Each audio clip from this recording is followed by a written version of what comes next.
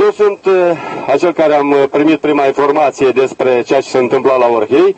Între timp au mai urmat câteva acțiuni ilegale, absolut în stil KGBist, NKVDist de fapt. Oamenii au fost ridicați și aduși în temnițele Ministerului de Interne. Vom încerca pe viitor să lămurim această situație cu exactitate ce s-a întâmplat și acei care se fac vinovați de încălcarea drepturilor, încălcarea flagrantă a drepturilor cetățenilor, vor trebui să răspundă în fața justiției.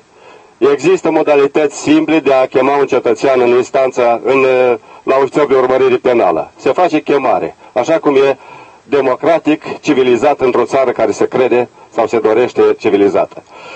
Împreună cu colegii suntem aici și pentru a-i susține pe acei care au fost reținuți, dar pe a transmite, pentru a transmite și un mesaj de încurajare pentru toți cetățenii. Să nu vă fie frică, suntem împreună și vom fi până la capăt.